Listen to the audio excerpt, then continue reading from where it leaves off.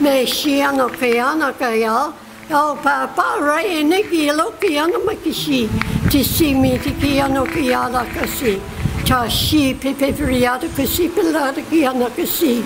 O koia no kasi. Thank you, Jesus.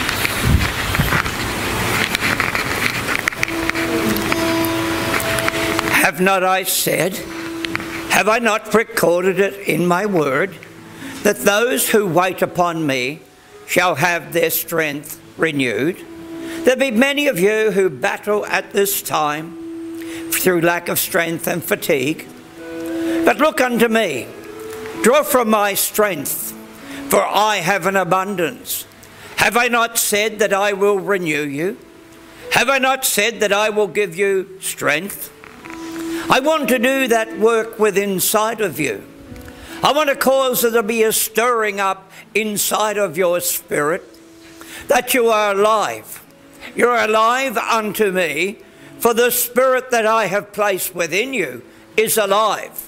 Be led by the Spirit, says the Lord your God, not by your flesh. Though you are weary, let me renew you. Let me cause a new strength to rise up inside.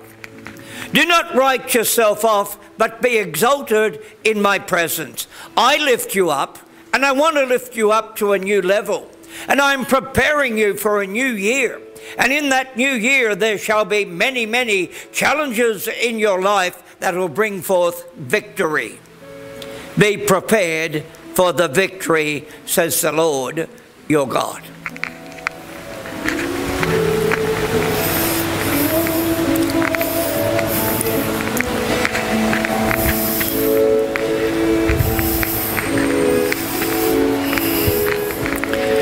Thank you, Father.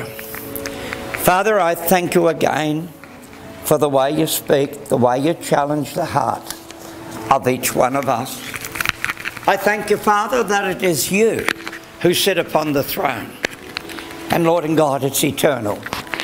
And Father, I thank you, Lord, for the call and challenge to each one of us that one day we shall be there in eternity with you. Holy Spirit, I thank you for the words that you have spoken today. And I pray, Father, that, Lord, that will be a challenge unto each one of us. May we embrace the truth.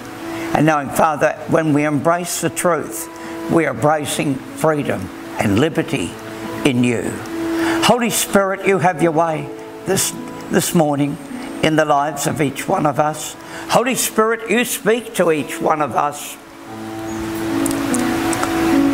And Holy Spirit, you do the work that you want to do inside of each one of us, starting today. I pray in Jesus' name. Amen.